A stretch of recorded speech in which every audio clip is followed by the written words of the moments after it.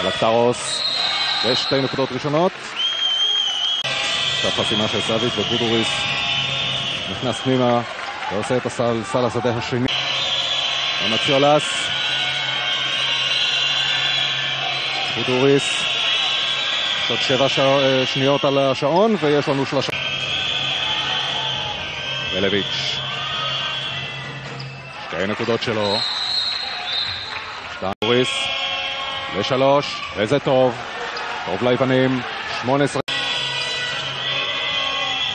ולביץ', כניסה מצוינת שלו, ועוד שתי נקודות. בודוריס מספר 6. רלביץ' הולך לשלוש, ופוגע. איזה עיבוד כדור של ארדיטי. בצד השני מחכה לכדור בודוריס, מקבל אותו, נכנס, ומשאיר אותו ללמפלי, וזה שתי נקודות נוספות. מספר 10 הוא קורפס, ומצליח לעשות שתי נקודות. וקורפס ביד אחת לשלוש, וזה טוב. שם התמוטטות של שלושה שחקנים אחד אחרי השני, ובודוריס מוצא את הסל בשלשה ומוריד את ההפרש לחמש. קורפס מחכה שלוש להיכנס, אבל מוצא שלוש בודוריס בחוץ, ושוב ניסיון לשלושה, וגם זה בפנים. להגיע אל הסל, ומתפרצת עכשיו של קורפס.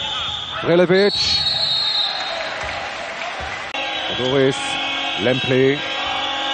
ג'ונסון אלה איתו, והכדור החוזר של... ומתחת לסל ניסיון של ג'ונסון והוא נחסם. ועכשיו וגנר. עושה את הסיבוב וגנר, אבל נתקל בידיים. למפלי. רצולס. שתי נקודות. כן, הפעם... ג'ונסון משאיר את הכדור, זה היה ברקוביץ' שהשאיר לפליישר, לא לשים הכדור, קורפס, יש שתי נקודות קלות של למפלי. ג'ונסון מתעשת, מצליח לתת את הכדור לגילד קאט.